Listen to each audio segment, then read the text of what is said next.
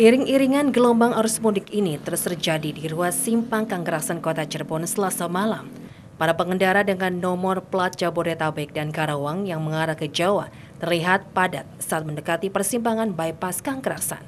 Para pengendara yang melakukan perjalanan jauh tampak membawa tas dan kardus pakaian. Lima hari jelang lebaran ini, volume kendaraan yang didominasi kendaraan roda dua ini terus mengalami kepadatan. Namun arus lalin pada malam hari lebih menurun dibandingkan pada saat siang hari. Ribuan kendaraan bermotor secara bergerombol memadati jalur Pantura Kota Cirebon.